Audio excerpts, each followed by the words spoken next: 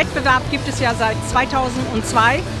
Alle Tonverbände haben sich eingeklinkt und in der Zwischenzeit ist es eben zu einem wohl der spektakulärsten Wettbewerbe des Deutschen Turnerbundes geworden. Röhrenradzopf, äh, so ein bisschen ausgefallen, Rope Skipping, natürlich Akrobatik, das ist klar, Tanz, all diese Dinge, Kunst und Sport kombiniert. Eigentlich die komplette Bandbreite, die der Deutsche Turnerbund zu bieten hat.